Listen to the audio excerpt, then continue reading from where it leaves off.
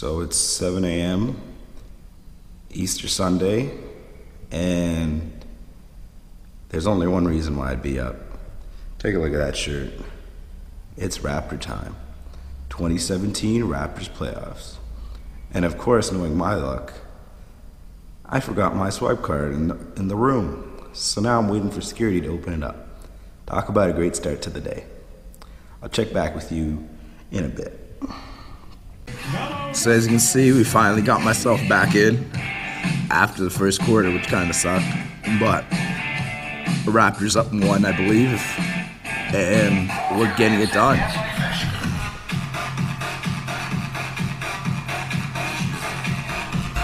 Don't worry, eventually I'll get some better footage. But until then, I'll catch back with you until halftime.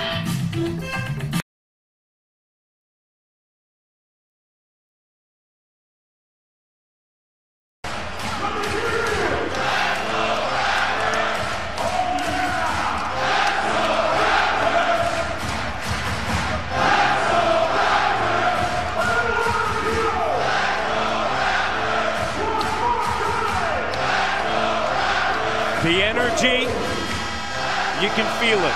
It's incredible in here. It is absolutely incredible. Our national anthem gave you chills. Goosebumps all over.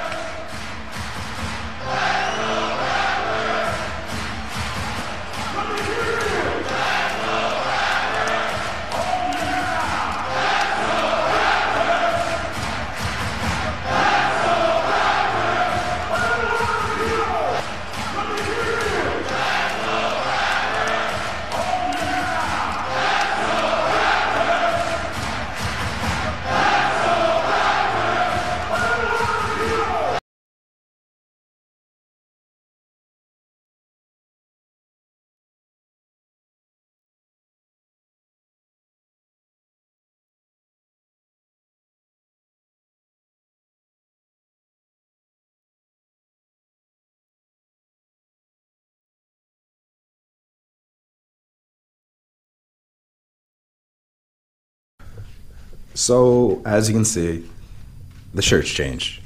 We're rocking a blue shirt and the jersey's off because somehow the Raptors lost game one. you know what? I can't. I can't do this right now. This is ridiculous. I'm f- super frustrated with this team. I got up at 7 a.m. and they play like this you know what? I'm gonna give myself a couple days, and then I'll let myself review this game and review their performance. Catch in a couple days. So after getting some time off and looking at the tape and looking at their post-game interviews, I literally don't know how they pulled that game out and losing that game. The Raptors need to show up. Kyle Lowry needs to show up and they have to put it together. The Raptors continue to surprise me as a third seed, continue to lose nine straight now, game ones. While it doesn't scare me that they can't win this series, Milwaukee's an interesting team that plays us with their length and their guard play and their forward. And with Giannis being a player that can play one to five, it's just ridiculous. So hopefully the Raptors can pull this off. And get back into the series. So hopefully it happens. So, like I said in every other one, live your life, love your life, let God in your life.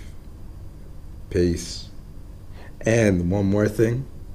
Let's go, Raptors. VC sucks. Peace.